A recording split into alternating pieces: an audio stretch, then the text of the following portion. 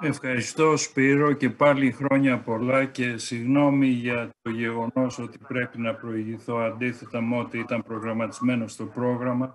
Είναι δική μου τιμή να βρίσκομαι ανάμεσά σας και ευχαριστώ τον καθηγητή κύριο Τούτουζα για την πρόσκληση και το, την Οργανωτική Επιτροπή του Ελικάρ για το πανέμορφο αυτό παραδοσιακό συνέδριο.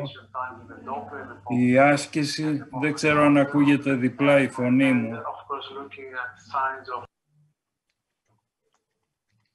Ακούγομαι... Ναι, ακούγεσαι πολύ καλά, πολύ καλά. Μικρόφωνο και ακούγονταν διπλά. Πολύ καλά. Οκ. Η άσκηση είναι σημαντικό κομμάτι της αποκατάστασης καρδιοπαθών, όπως θα δούμε σε αυτό το session και ξεκινάω από τους ε, ψηλότερου κινδύνου για ευνίδιο καρδιακό θάνατο ασθενείς, δηλαδή ασθενείς με καρδιομοιοπάθειες και κανελοπάθειες, σε μικρή νεαρά μερικές φορές αθλητικής δραστηριότητας ηλικία πάσχουν από τέτοιες παθήσεις. Και πράγματι ο ευνίδιος θάνατος σε αθλητές είναι εξαιρετικά σπάνιο φαινόμενο, ευτυχώς για αυτούς, αλλά οι διαβλοπάθειες ενοχοποιούνται για το 40% των ανωτέρων θανάτων, ενώ γενικά η επίπτωση του σοβαρού αριθμιολογικού συμβάματος διπλασιάζεται έως τριπλασιάζεται σε αυτούς τους ασθενείς κατά τη διάρκεια της άσκησης.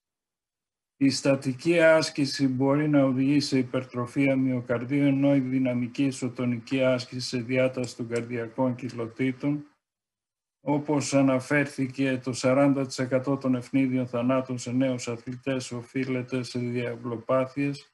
Η γενικότερη συνένεση είναι η αποφυγή της ανταγωνιστικής άθλησης. Θα πρέπει να υπάρχει συνεννόηση μεταξύ του αθλητού και, της οικογένει, και του οικογενειακού περιβάλλοντος όσον αφορά την άσκηση. Εξωτερικοί πυροδότες αριθμιογέννησης κατά τη διάρκεια αυτής περιλαμβάνουν την έντονη μορφή άσκησης, τα ακουστικά ερεθίσματα και τις ευνίδιες εκρήξεις σε μερικές μορφές καναλοπαθειών ή τις ευνίδιες μεταβολές θερμοκρασίας σε άλλες. Ας δούμε μια μετά τη μια κατάσταση που συζητάμε. Το long QTS θα πρέπει να έχει μια βάλιντα εγνώση με βάση τον κώδικα του Schwartz, όπως φαίνεται σε αυτό το πίνακα και πολύ περισσότερο σε αυτό το πίνακα θα πρέπει να έχουμε υπόψη τους παράγοντες κινδύνου για ευνίδιο καρδιακό θάνατο σε αυτή την οντότητα που συμπεριλαμβάνουν την υποτροπιάζουσα συγκοπή, την αποτυχία της θεραπείας με β' αναστολής, την επιβίωση από καρδιακή ανακοπή, την συγγενή κόφωση, το θύλι φύλλο, το πολύ μακρύ QTC διορθωμένο διάστημα, τη σχετική βραδικαρδία και το οικογενειακό ιστορικό με events. Που ανέμορφη διαστρωμάτωση κινδύνου με μια πυραμίδα που στην κορυφή είναι τα υψηλότερα ρίσκου περιστατικά έχουν δώσει οι πραϊόροι με το Σβάρτς, λαμβάνοντας υπόψη απλούς παράγοντες όπως το φύλλο, την ηλικία, το γονότυπο, αν είναι long QT1, long QT2 ή long QT3, και την διάρκεια του διορθωμένου QTC διαστήματος, παρέχοντας 12 πιθανούς συνδυασμούς με διαφορετικές προγνωστικές πληροφορίες. Το short QTS αντίστοιχα ε, παίρνει πολλούς βαθμούς αν είναι ιδιαίτερα βραχή κάτω από 3-30 milliseconds ανάλογα με το ιστορικό ανεξήγητη συγκοπής ευνίδιου θανάτου κοιλιακής μαρμαργής ή το οικογενειακό ιστορικό αντίστοιχων παθήσεων ή το γονότυπο.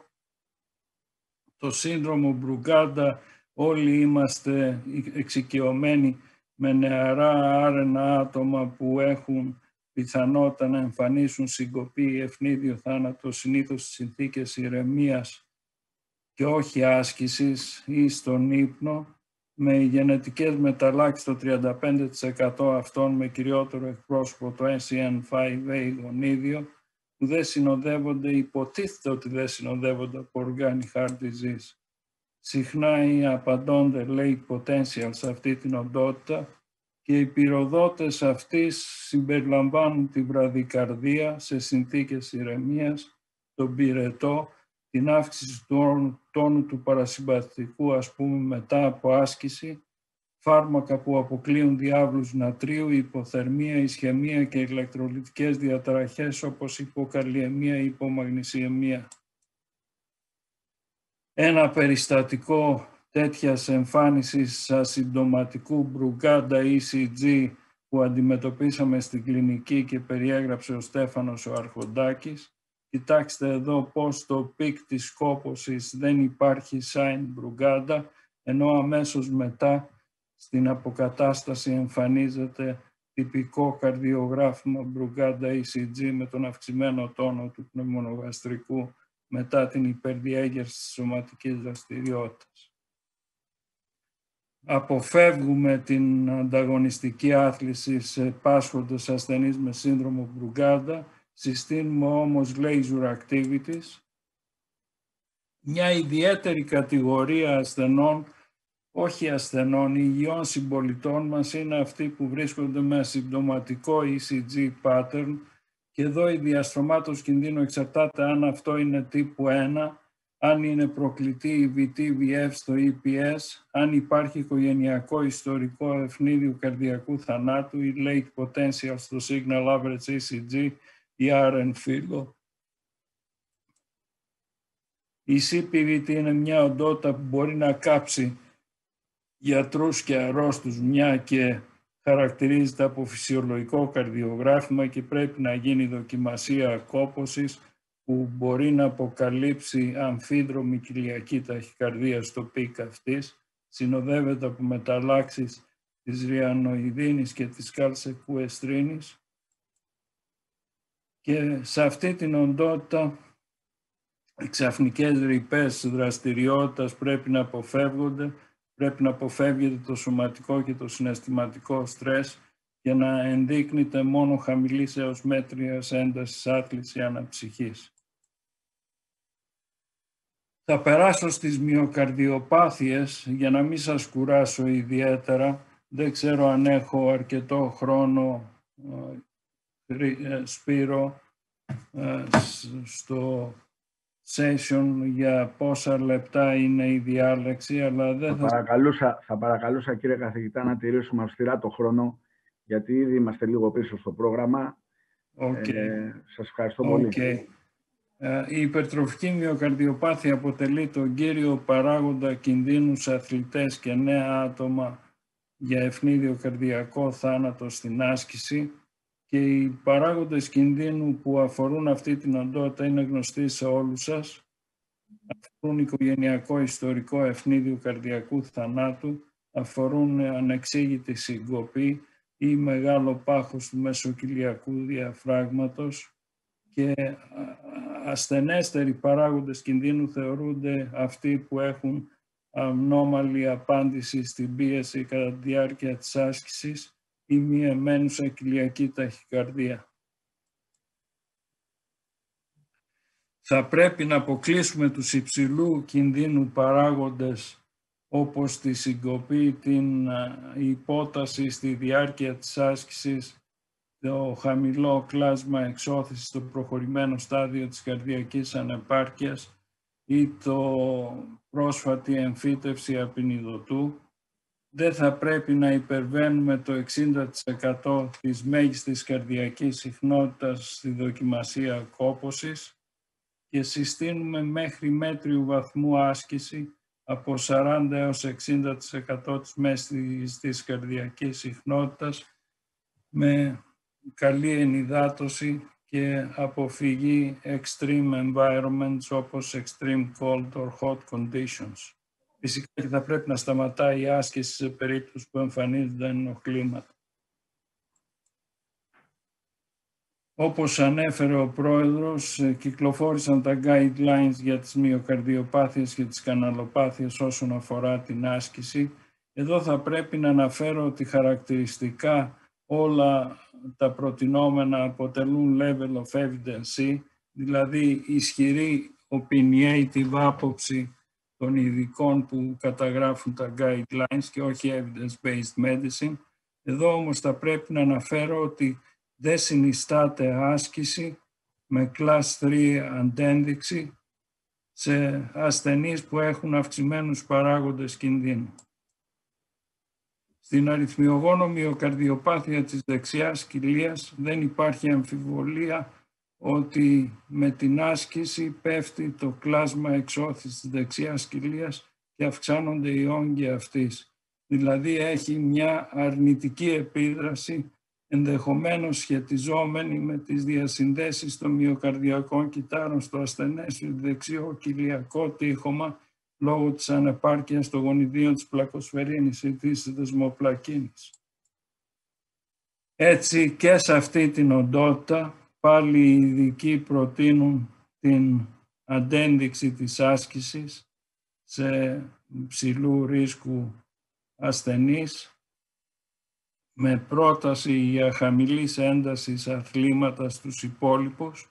Εδώ θα πρέπει να αναφέρω ότι με evidence-based B υπάρχουν δύο reference που μπορείτε να τα διαβάσετε. Συστήνεται η αποφυγή της ανταγωνιστικής άσκησης ακόμη και σε φορείς της κατάστασης χωρίς έκδηλο φαινότυπο.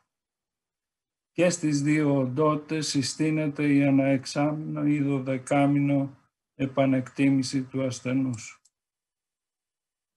Κλείνω με τη διατατική μυοκαρδιοπάθεια, όπου ισχύουν αντίστοιχες οδηγίες. Εδώ θα πρέπει να σταματήσω στην κλάς 3 αντένδειξη της ανταγωνιστικής και τη, ακόμη και της χαβελαρής δραστηριότητας άσκησης σε ασθενείς με χαμηλό κλάσμα εξώθησης αριστεράς κοιλίας, με ανεξήγητη συγκοπή ιστορικό καρδιακής ανακοπής, με σύμπλοκη κοιλιακή αριθμία, με έκδηλη ίνωση στον, στη μαγνητική τομογραφία και με γονότυπο λάμινε C φύλαμιν C.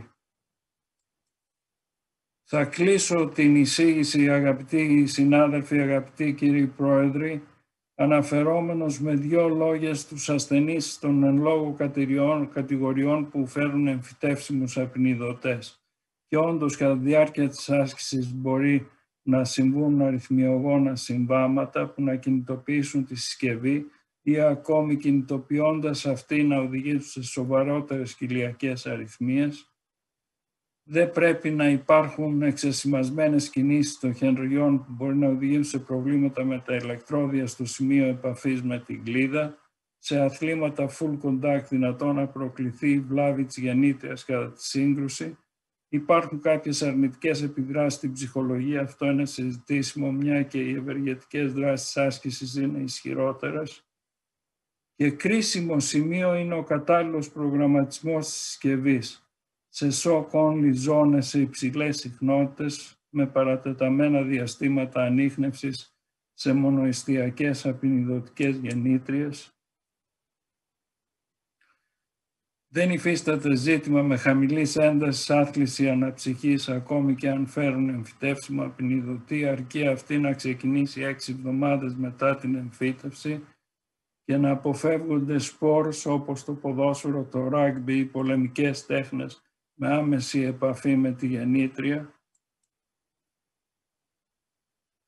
Και εδώ είναι εξαιρετικά σημαντικό το γεγονός ότι θα πρέπει να έχουν ευαισθητοποιηθεί συγγενείς συναθλητές και φίλοι στην κάρπα και στη χρήση των αυτόματων εξωτερικών απεινιδωτών με τους οποίους θα πρέπει να εφοδιάζεται το σπίτι του ενδιαφερόμενου, οι αθλητικές εγκαταστάσεις και τα κοινοτικά κέντρα και αποφυγή παραμονής σε περισσότερο από 65% της μέγιστης καρδιακής συχνότητας για παρατεταμένες χρονικές περιόδους και φυσικά επανεκτίμηση όπως αναφέρθηκε προηγουμένως και κλινική παρακολούθηση εκ των όνου Κάνευ.